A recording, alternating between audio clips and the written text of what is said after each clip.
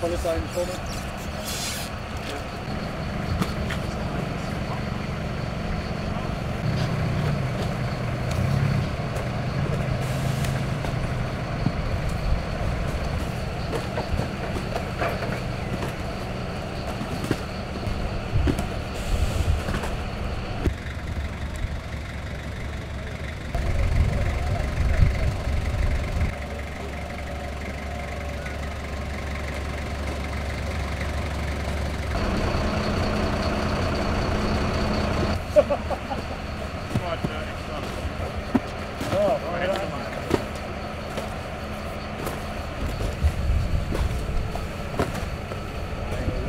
Minute für einen kleinen Unfall, ey.